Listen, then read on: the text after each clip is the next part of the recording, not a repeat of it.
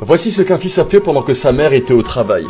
Quand la mère est rentrée le soir à la maison, elle a demandé à son fils pourquoi il avait étendu des lingettes sur un étendoir.